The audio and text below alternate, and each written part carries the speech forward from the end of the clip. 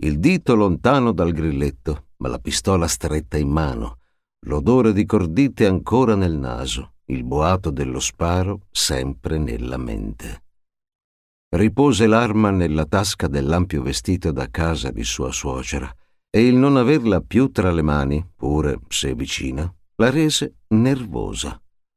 Lo ha comprato una babbana, se l'è portato a casa e ha cercato di servirci il tè degli amici. È stato un incubo. Papà ha dovuto fare straordinari per settimane intere. Che cosa è successo?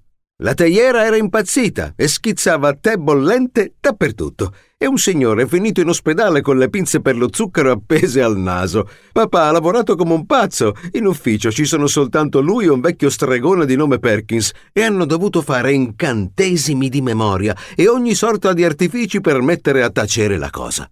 Ma vostro padre, questa macchina? Fred scoppiò a ridere. sì, papà va matto per tutto quello che riguarda i babbani. Abbiamo il capanno pieno zeppo di aggeggi che provengono dal loro mondo. Lui li smonta, ci introduce qualche incantesimo dentro e poi li rimonta.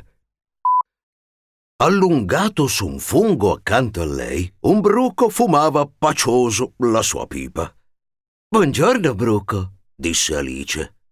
Chi sei tu? disse il bruco con una lentezza disarmante. Mi chiamo Alice. E tu come ti chiami? Brucaliffo, rispose quello, scandendo ogni singola lettera del suo nome. Le donne non furono certo più garbate. È una che viene dal nulla e ha anche ammazzato suo marito. Eppure, guardatela un po', si è illusa di essere una sorta di poliziotto. Non è un tesoro? Almeno potrebbe tirarsi sui capelli, sembra una zoccola, con tutta quella chioma rossa sugli occhi. Io me li tingerei di un colore più naturale, fossi lei. Questa non è un'aquila, però, osservò Bea. No, a meno che non abbia ingoiato un rospo, rispose Tiziano. Chiara e Lucio risero. È un corvo, zia. Un corvo imperiale, aggiunse l'uomo fissando il cielo. È il più grande e robusto dei corvidi ed è il peggior nemico delle aquile. Davvero? Sì, non sai quanti combattimenti aerei li ho visti fare. Naturalmente vincono le aquile, intervenne Chiara. A dire il vero, il più delle volte è l'aquila che batte in ritirata. I corvi imperiali sono tipi tosti e spesso predano le uova o gli aquilotti ancora nel nido, spiegò Tiziano che di colpo si fermò. Usciti dal bosco, il canto degli alberi si assopì. A quel punto anche la guida udì qualcosa. Hai ragione, sono aquile, disse scrutando il cielo a occhio nudo. Sono lontane, però, non riesco a vederle. Le sento anch'io adesso, intervenne Chiara. Il verso viene da là, aggiunse indicando una montagna a ovest. Sì, da quel versante laggiù, confermò Tiziano, scandagliando le pendici delle montagne con il binocolo. Le grida si ripeterono ancora più serrate. Lucio ruotò lentamente la testa da una parte all'altra, poi puntò il dito su un punto preciso. Eccole! Gli altri lo guardarono sorpresi. Febe lo guardava attentamente. Lui invece non staccava gli occhi dalla faccia della suora. Tutti e due sentivano il rumore del suo respiro. E quale potrebbe essere questo nesso? Non lo so.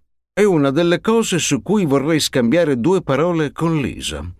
In effetti, avvicinò la sedia di qualche centimetro alla scrivania. In effetti, sorella, la mia proposta è che Lisa raccolga le sue cose e venga via con noi, con me e Febe, oggi, adesso. È fuori questione, hm, disse la suora liquidandolo con una risatina. Suo padre ha espressamente sì, non ho dubbi, che suo padre abbia insistito che non debba vedere nessuno, parlare con nessuno e certamente non lasciare la lavanderia senza il suo permesso. Esatto. Ma io, Suor Dominique, sono qui per, come dire, sono qui per dare un contrordine. Sono venuta a prendere Lisa e a portarla via, in un luogo sicuro. Sicuro? ripeté la suora con voce più grave. Sta insinuando che qui correrebbe qualche pericolo? Io credo, disse Quirk lentamente, che sia in pericolo in linea generale.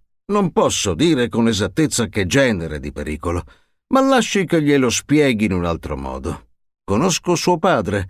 So che genere d'uomo è. Lui è un pericolo e non ci si può fidare di lui per la sicurezza di sua figlia. Oh.